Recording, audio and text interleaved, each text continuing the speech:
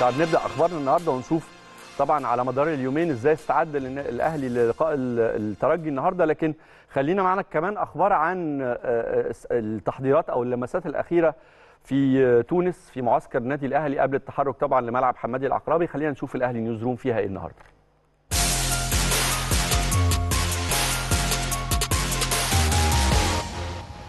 أبدأ معاكم من تونس الحقيقة قبل ما ندخل في الأخبار وقبل ما نستعرض كمان إزاي الإعلام التونسي أو الصحافة التونسية بصت أو علقت على مواجهة النهارده بين الأهلي والترجي. زميلنا كريم أحمد من آه، تونس معانا على الهواء مباشرة. مساء الخير كريم. مساء الخير عليك زميلي العزيز أحمد سمير. كل التحية ليك ولكل مشاهدينا وكل جمهور النادي الأهلي العظيم. لسه فندق الإقامة كريم. بالتأكيد طبعا يعني حتى هذه اللحظات متواجدين في فندق الإقامة بنتمنى أكيد يا رب إن شاء الله النهارده يكون يوم جيد وطيب على كل لاعبي النادي الأهلي والجهاز الفني. كل التحضيرات انتهت إن شاء الله ينقصنا توفيق ربنا سبحانه وتعالى. بإذن اجتهدت. بشكل كبير خلال التدريبات خل- خلال المحاضرات خلال الجلسات زي ما قلنا الثنائيه والفردية والجماعية من كل لاعبي النادي الأهلي. إن شاء الله تكلل بالنجاح النهارده. مباراة غاية في الصعوبة وغاية في الأهمية. زي ما بنقول شوط أول مهم جدا. هتقطع معاك خطوة مهمة نحو منصة التتويج إن شاء الله بإذن الله. ده أملنا الكبير في كل لاعبي النادي الأهلي في مستر كولر اللي قدر إن هو الحقيقة يقف على كل الثغرات ونقاط القوة والضعف من خلال تحليله ورؤيته ومشاهداته للمباريات الأخيرة لنادي الترجي التونسي.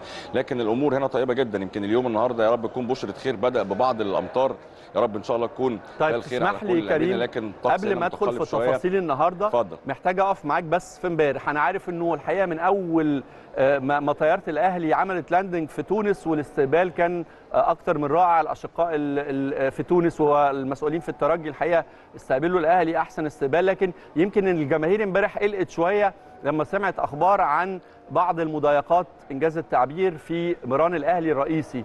آه، منها ما يتعلق بال spy drone اتقال إنها آه، آه، يعني كاميرا تجسس اتقال مرة تانية إنها لا دي تبع الاتحاد الأفريقي.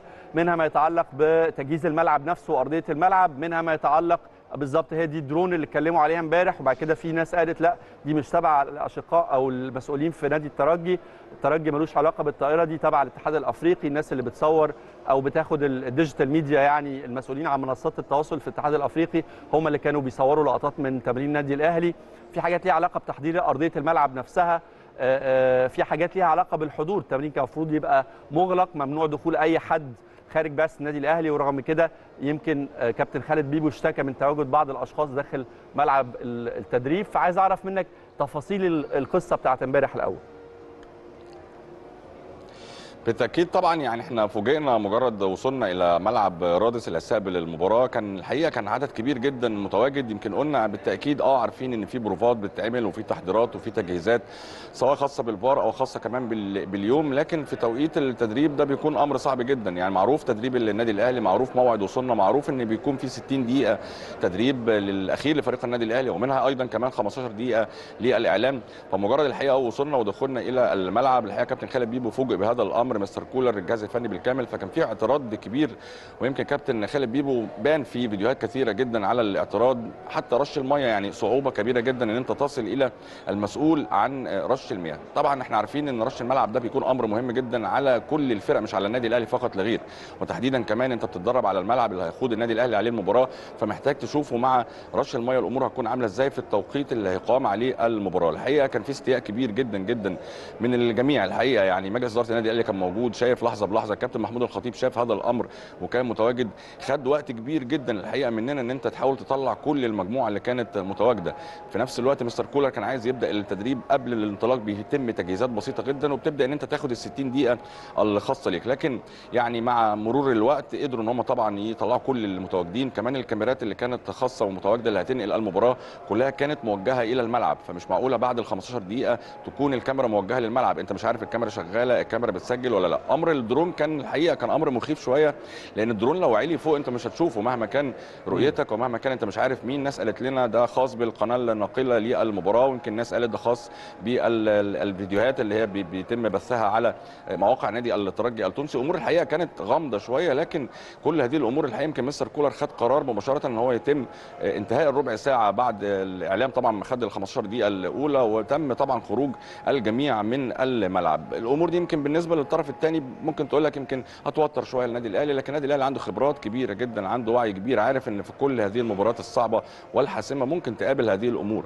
فكل الأمور دي الحمد لله يمكن عدت. تدريب امبارح كان جيد جدا. شفنا اللعيبة وشفنا الحالة الكبيرة وشفنا الجدية. مستر كولر الحقيقة كان على طول بيتحرك بيشجع بيتكلم اتكلم أكتر من مرة على أهمية إن إحنا نكون متمركزين صح في المباراة دخولنا في المباراة. كل الكلام ده كنا سامعينه من الملعب وده كان أمر مهم جدا في خلال الفترة اللي كانت مسموح بيها. فأمر كان سبب ضيق شوية لكن اللي يهمنا إن شاء الله النهارده هو تحركنا ووصولنا للتأمين الخاص ببعثة فريق النادي الأهلي.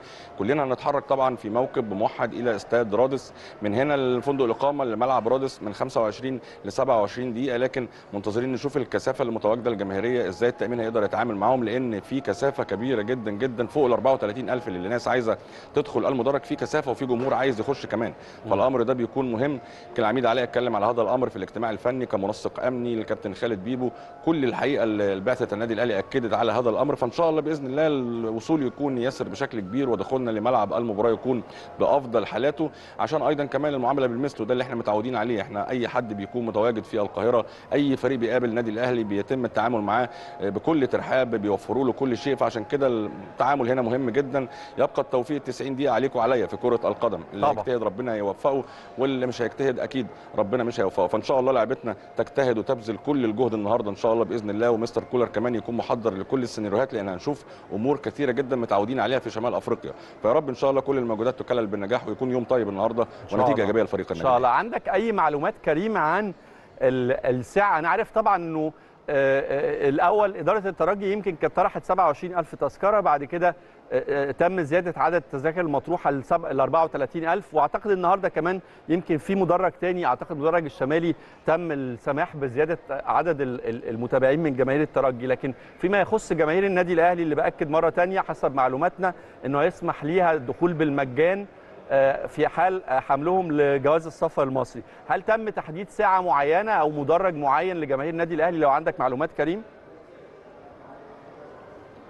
بالتأكيد طبعا يعني زي ما بقول لك المنسق الأمني العميد علاء صلاح في الاجتماع الأمني. يمكن قلنا جمهور النادي الأهلي هيقعد فين؟ عندك عندك كمان لعيبة بتكون خارج ال score sheet وباقي الجهاز الإداري والجهاز الفني بيكون ليه أيضا كمان مكان متواجد بالقرب من دكة بدلاء النادي الأهلي. يمكن مجرد وصولنا أمس للملعب تم الاختيار إن يكون المدرج خلف دكة النادي الأهلي الخاص بالجانب الإداري ويكون جمهورك كمان يعني يعني في نفس الاتجاه. ما يبقاش جمهور النادي الأهلي بعيد. يعني جمهور النادي الأهلي وأيضا كمان البعثة والطاقم الاداري هيكون خلف دكة النادي الأهلي. ده يمكن شفناه على أرض الواقع وعيناه لكن اللي يهمنا على أرض الواقع لأن أنت ممكن تروح تلاقي الأماكن اللي هي كانت محجوزة للبعثة أو للنادي الأهلي ممكن تكون تلاقي فيها جماهير. عشان كده بقول لك الأمور دي بتكون لازم تشوفها على أرض الواقع لازم توصل الملعب تشوف الأمور دي لكن التنظيم الإداري قبل المباراة شيء وساعة المباراة بيكون شيء تاني لأن زي ما بقول لك في شغف كبير جدا جدا لكل جمهور نادي الترجي. كان الاستاد بيتسع ل 50000 عايزين يكونوا متواجدين ال 50 34 أنا بقول لك الرقم ده هيزيد وممكن كمان يزيد عن 40000 مشجع لنادي الترجي. لكن زي ما بقول لك كل الأجواء دي إن شاء الله تكون حافز وتكون دوافع لفريق النادي الأهلي. النادي الأهلي لعب في كل الأجواء وجماهيريه في كل الأجواء اللي بيبقى فيها مضايقات. طبعا. يا رب إن شاء الله يا رب إن شاء الله يكون مع كل لعيبة النادي الأهلي ويكون معانا النهارده إن شاء الله. مش هبالغ يا كريم أقول يعني وإن كانت لعيبة الأهلي كلها الحقيقة متعودة إنها تلعب مباراة نهائي كل موسم لكن ممكن يكون النهائي السنة دي بطعم مختلف ويمكن يكون أهمية اللقب ال 12 آه، م- يعني هي الأهم على مستوى الألقاب اللي حققها الجيل ده من اللاعبين في السنوات الأخيرة. بعيدا عن الفنيات والتمرين ومارسيل كولر والجهاز الفني عايز أتكلم معاك على الحالة اللي عايشاها لعيبة الأهلي على مدار ال 48 ساعة اللي بعتقد إنها الأهم الأهم والأصعب على مدار الموسم كله. بالتأكيد هي حاله من التركيز ومعروف على النادي الأهلي في المباريات الحاسمة حالة الجدية والتركيز الوعي الكبير اللي فيه الكباتن النادي الأهلي. يعني قلنا الشناوي قام بدور كبير جدا محمد هاني ربيعه علي معلول ناس عارفة ولاعيبه النادي الأهلي عارفة قيمة هذه المباراة. في لعيبة ما شاركتش في المحافل الكبيرة في هذا الشكل في رادس في تونس.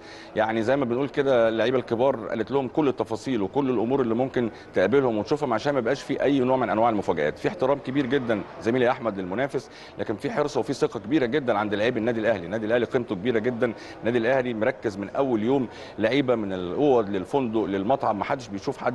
دقائق بسيطة جدا. فده اللي الحقيقة اللي إحنا بنلمسه. لما بنكون متواجدين بنلمس على أرض الواقع مدى الجدية ومدى حالة التركيز الكبيرة جدا اللي فيها لاعبي النادي الأهلي. زي ما بقول لك زميلي أحمد التوفيق بس يكون معانا. التحضيرات خلاص انتهت الفنيات مستر كولر خلاص قال كل شيء عنده. لعيبة النادي الأهلي قدرت إن هي تحضر كل شيء. ينقصنا التوفيق وينقصنا جمهورنا مهما كان قله عدده بيكون ليهم تأثير. شفنا جمهورنا كان في الوداد الحقيقة كان ليه تأثير كبير جدا في المباراة النهائية رغم قله عددهم. فإن شاء الله بإذن الله لعيبتنا تكون في قمة تركيزها من أول دقيقة لآخر دقيقة. دخولنا في المباراة لابد يكون قوي وجيد جدا عشان تقدر إن أنت تدي رسالة للجميع ان النادي الأهلي هدفه اللقب. وإن شاء الله بإذن الله اليوم تكون خطوة مهمة جدا نحو منصة التتويج. ال 12 الاهلي هو الهتاف الكبير جدا لكل جمهور النادي الأهلي هنا في تونس. فيا رب إن شاء الله بإذن الله تكون خطوة مهمة جدا نحو منصة التتويج والبطولة ال 12 تدخل دولاب بطولات النادي الأهلي بالجزيرة. إن شاء الله السفرية الجاية لما نتقابل يا كريم نكون بنتكلم على ال 13 يا أهلي. بشكرك. شكرا جزيلا الزميل العزيز كريم أحمد من مقر إقامة النادي الأهلي في تونس. كل التوفيق للأهلي النهارده. وخلينا نكمل أخبارنا أو ندخل في أخبارنا. هبدأ معاكم الصحافة التونسية. يعني كلمتكم أو هكلمكم كمان لسه